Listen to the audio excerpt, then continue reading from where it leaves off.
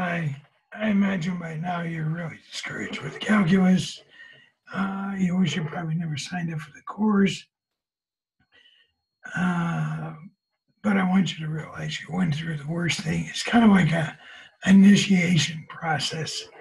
So now you are thoroughly initiated. And uh, I'm not going to say it's going to become super simple, but it's going to become a little bit easier. Let's start out with the one that you had now, or variation on one. Let's suppose you had 4x squared and you wanted to take the derivative of that. So you want to take the first derivative. Uh, let's call it function of x, because that's kind of how we've been working them. Function of x or y means the same thing. So let's see, we had f of x equals 4x squared. Then f of x plus h was what? That was 4 times x plus h squared. And then we took the limit of that. We, we wanted to use the difference quotient, so we had function of x plus h minus function of x divided by h. This is the difference quotient, dq.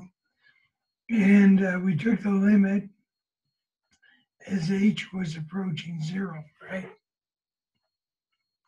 And we said that is, okay, here's f, f of x plus h. That was 4 times x plus h squared minus f of x, which was 4x squared. And that was all divided by h. And of course, we take the limit as h approaches zero. So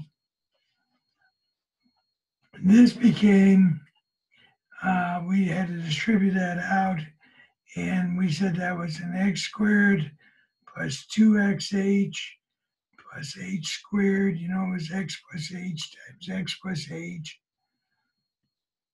And you can do a FOIL, and that's what you get, minus 4x squared over h. And then we distributed that 4x squared plus 8xh plus 4h squared minus 4x squared all over h. Okay, and then we uh, saw that these two terms should have canceled, and we can factor out an h, 8x plus 4h over h. And then our h is canceled. And then we got 8x plus 4h. But we take the limit as h approaches zero of that function. So that would give us a zero here. That would be 8x plus 4 times 0, which would be 8x plus 0 or 8x. Okay, so now I'm going to introduce you to a new rule. This is called the power rule. This is a rule where you see all this work that we just knocked our brains out doing, all this work we're going to do in our head. Believe it or not. The power rule simply says this. It's on page uh, 145 in your book.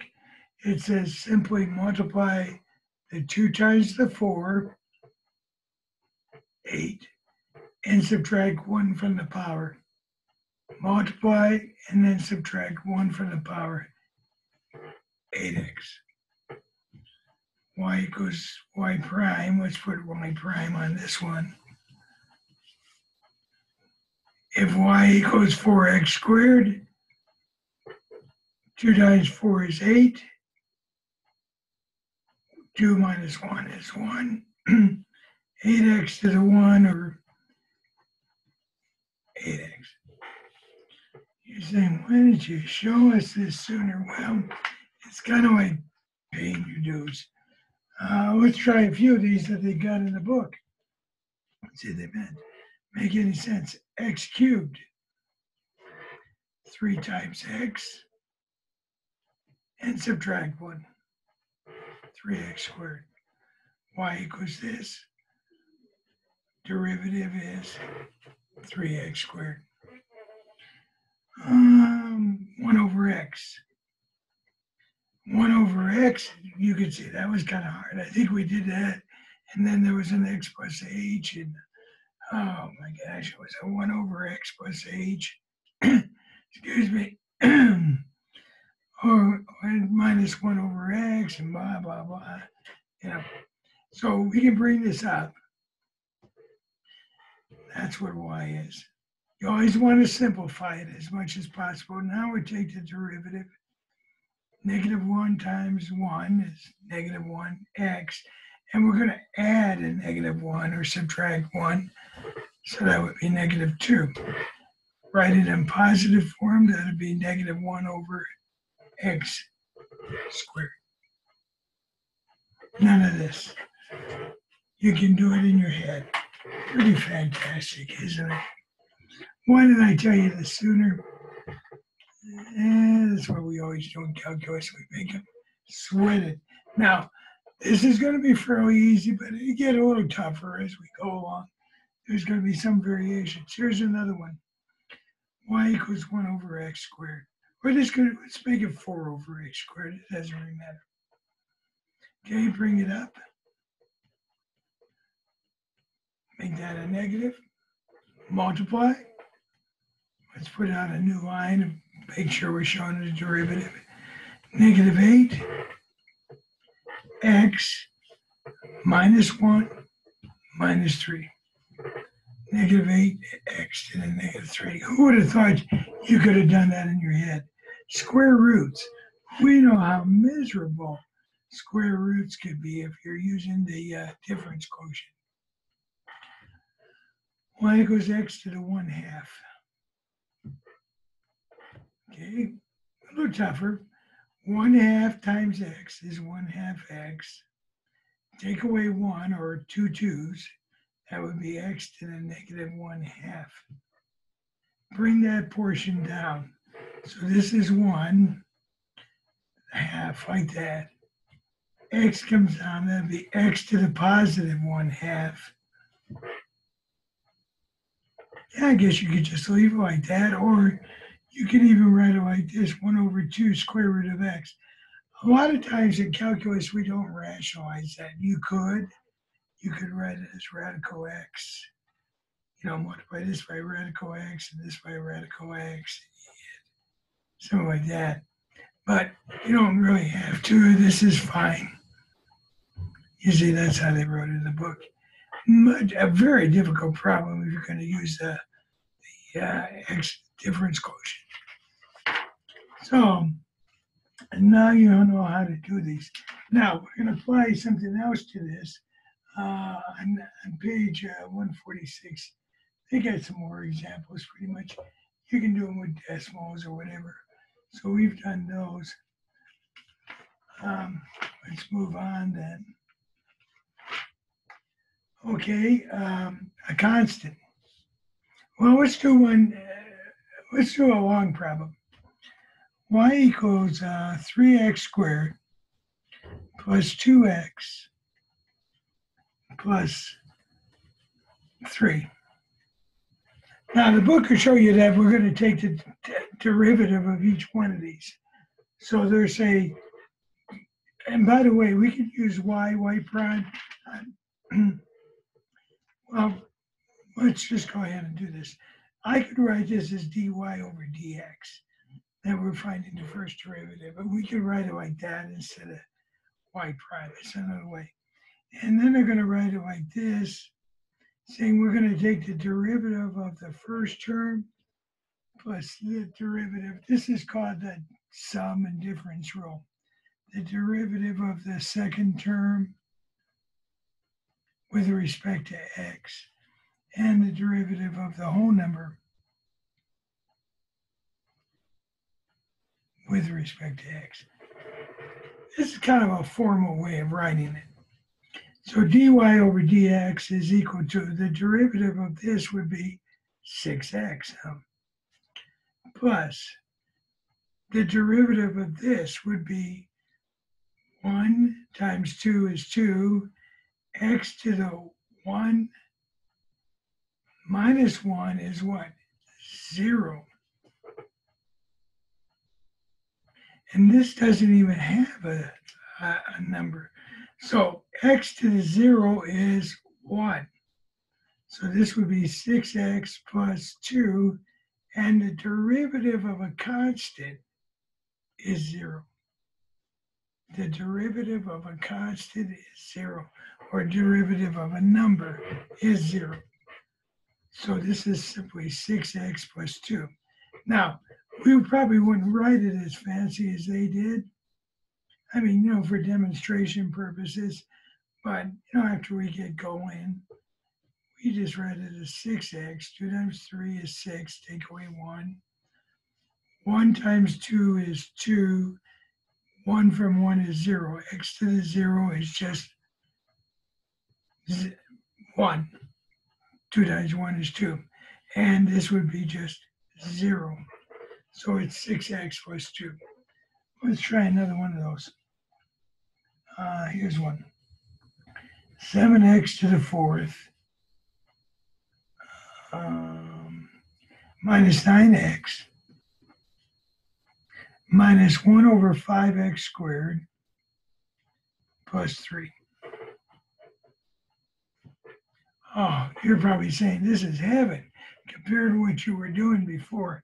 In fact, maybe some of you couldn't even get through what we were doing before. You said, heck with it. If it gets any harder, I'm quitting. But it's not. 28 x to the third minus what? 9, just 9. 9x simplifies to 9. Bring this up. I'm just going to write up here. The 5 can't come up. What am I doing here? The x can come up x to the negative 2. So this is still, well, it's 1 fifth right now. I'm going to multiply this by negative 2, so it's going to be negative 2 fifths. See, because this is negative 2 times the 1 fifth. And then this would be x to the negative 3. And then, of course, that's 0. So now my final answer could be 28x cubed minus 9 minus 2, and I to put it like this 5x to the third, like that. I could write it 2 fifths, but I think it's better that way. Super cool, isn't this? This is fantastic. This is nice. Okay, here's an interesting one. Volume of R equals 4 thirds pi R cubed.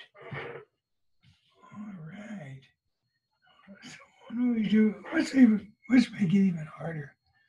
Plus pi. We're making it crazy here. Okay, so what are we going to do? We're going to multiply this 3, but think pi. Pi is a number. Pi stands for 3.14. Pi is not a variable. So this is 3 times 4 thirds. That's just going to give me 4 pi r to the second plus, since pi is a constant, it's a number, disappears. So it's 4 pi r squared. And that's what the first derivative, and we would write it like this. Now, this r means that maybe we wanted to substitute in a number. They could say find uh, v prime 3. So what they're saying here is take our derivative and substitute a 3 in place of the r. And now we got 3 squared, which is 9, or simply 36 pi. See? So we can put a number in. Another way they might write it like this, this is going back to the first page, they might write it like this.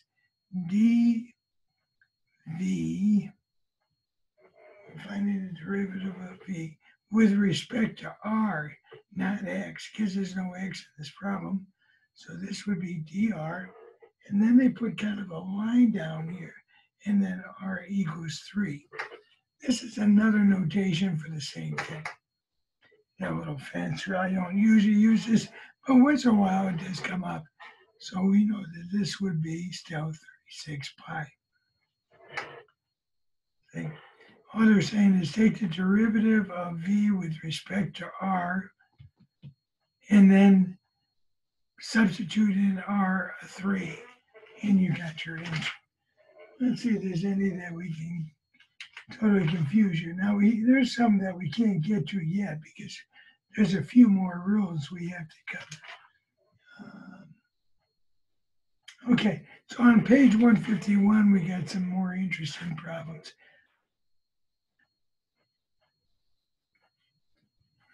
So they wrote the problem this way.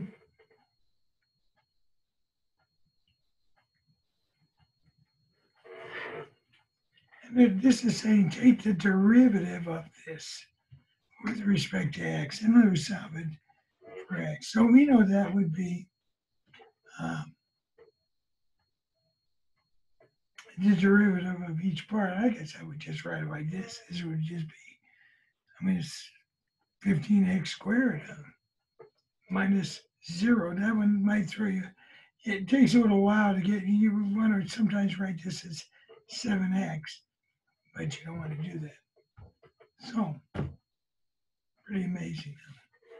Let's try another one here. Or I might, another way I could have written that is I might write dy over dx is 15x squared. Usually I don't put it in such a formal context, but we will when we get a type of derivative called implicit, uh, implicit uh, differentiation. But let's try this one. You can write a d dx like this. Just getting used to the different forms. They might even write it as function of x, like that. Now here's another way you could write the same problem. I'm going to bring this up right away. Then we would just write f prime x. We're solving for the derivative. Derivative of this is what? 24. 1 minus 1, just 24. This one, I guess I should have simplified. This is x to the 1 half. That one's always sort of tricky. So that's minus 1 half x 1 half minus 2 twos, negative 1 half. And then this one, and we're simplifying the next step, negative 5x, negative 2. We want the answers in, in uh, positive exponents. I was searching for the word there. Okay, so this is minus 2. And, you know, it started out as a, we could write x to the 1 half, and it would not that be wrong, but let's just leave it as the square root of x. And here, um, I already took the derivative. I don't want to get confused. So this is minus 5, and the x goes to the bottom, 5x squared. This is on page 151. There's an example like that. Slopes of the tangent line. One last thing. I think. Okay. Example six in your book says, find the points on the graph function of x equals negative x cubed plus 6x squared at which the tangent line is horizontal. Okay, one thing I didn't mention last time is there's certain, we want to solve at certain key points. And if you have, I'm just going to put your book here. These are key points right here. let me show you.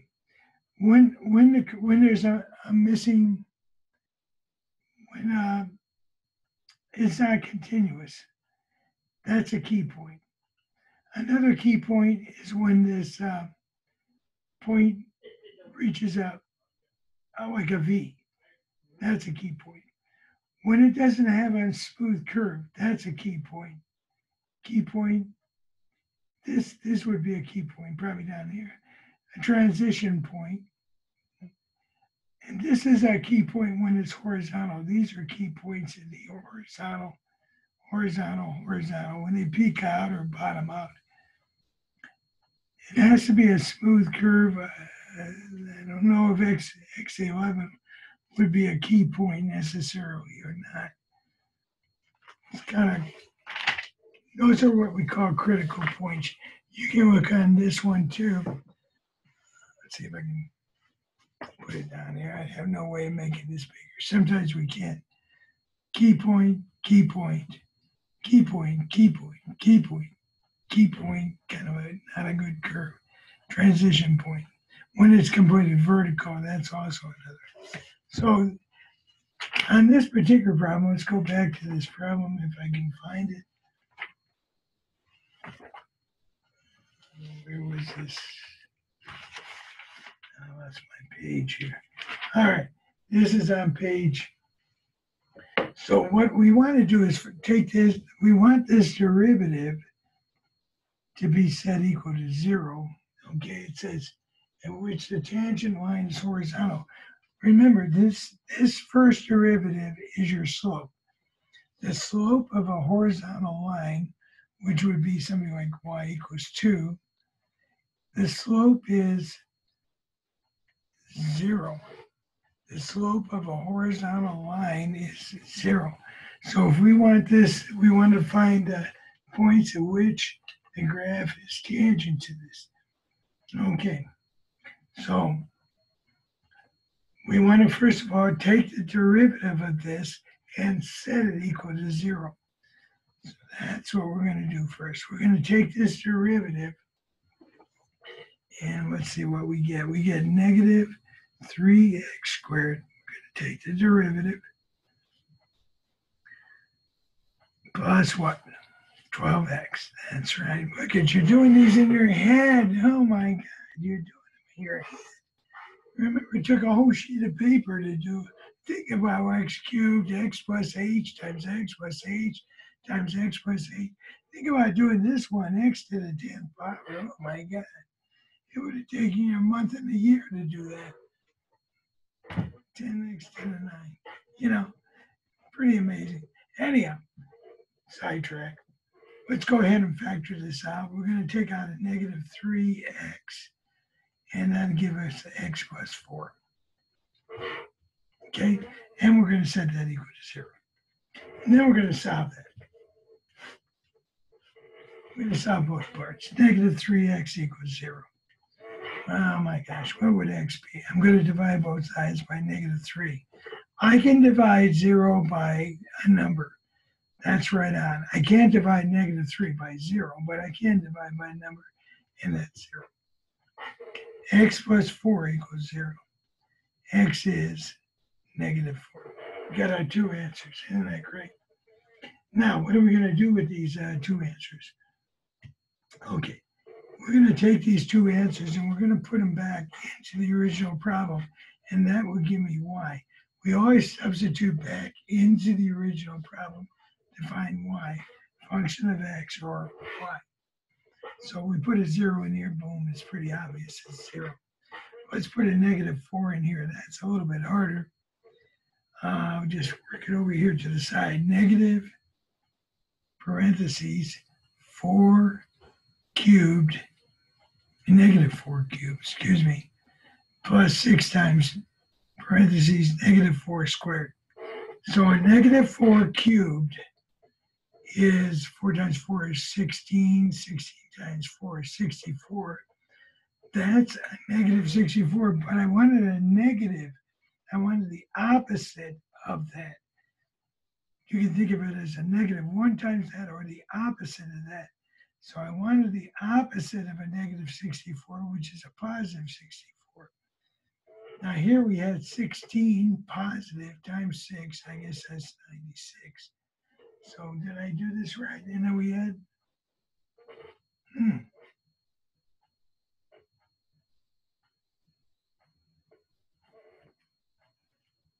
Wasn't this uh,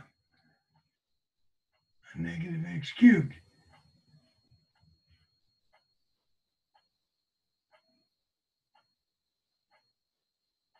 I thought we were putting in a negative x cubed. Negative 4. X was negative 4. Oh!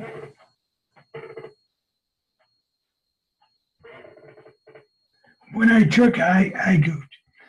Okay, I see my mistake. When I took out the negative 3x, negative 3x times x was x squared. Negative 3x times 4 would be negative 12x. This needed to be a minus, which gave me a plus, which gave me a plus. When I cubed it, I got positive 64, but I wanted the opposite of that. So I needed negative 64. Simple, simple algebra mistake. And that's what you got to be careful. It's the algebra that always gets you, not the calculus. It's the algebra. So this is 32. There we go. Okay. So y is 32. Okay, so now we got key points over here. It says, okay, that's the points are zero, zero shown. Okay, it says we are to find the points on the graph. It says, what was the question? Find the points on the graph at which the tangent is horizontal. These are the two points at which it's horizontal. Zero, zero, and 432 at those two points, the graph will be horizontal, and they show a picture of it, you know. It's kind of coming through the origin here. So it's horizontal at that point. The tangent, remember, tangent just barely touches this. And then way up here at three, four, and way up here at 32, and then it comes down. Okay, if you remember from algebra, when you have an expression that's x squared, uh, an x squared curve goes down and then comes back up.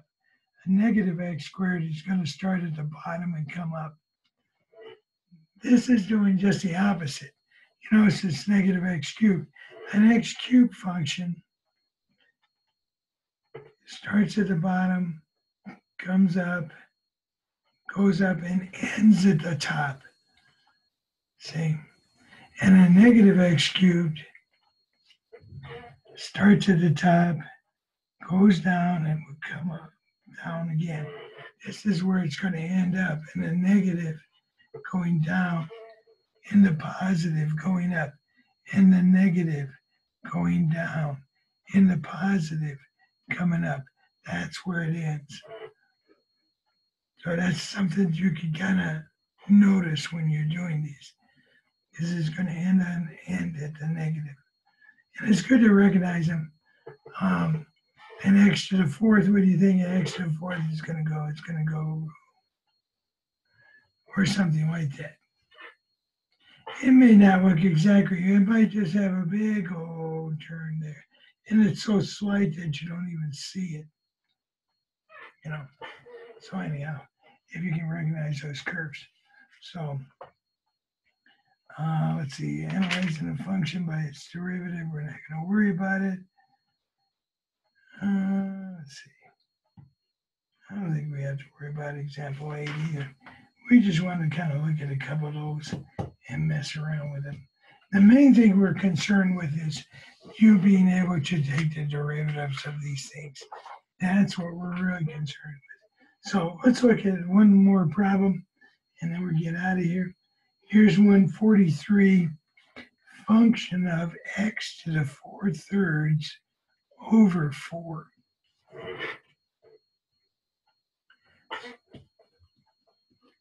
Kind of ready, kind of terrible there, huh? Okay, so let's do this. Let's think of this as 1 fourth x to the 4 thirds. So let's think of it this way. So what we're going to do is take one fourth times four thirds. See? That's going to cancel out. This is times. That's one third. So function prime x is one third x. Now, we're going to subtract one or three thirds. See, one and three thirds mean the same thing. So if we're taking away one or we're taking away three thirds, we got one third. Now, if we wanted to, we could write that even in radical form. Function prime x equals one third, and this was x. Remember, this is your index, and this is your power right there. Power index. x to the four thirds.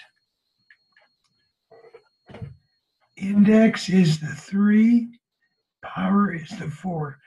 Think of pi, power over index. Index, power. And of course, don't forget the x. So I hope this uh, video helped, and you know, it should be a lot easier. But try a bunch of these. Try a bunch so you get faster, quicker. Uh, they just come more natural. And they're still not going to be real easy. You know, problems like this are not super easy, but a lot easier than what you were doing before. And uh, you have a lot of fun with them. You know, this is kind of like one of the best parts of uh, calc right here and I hope you enjoy it.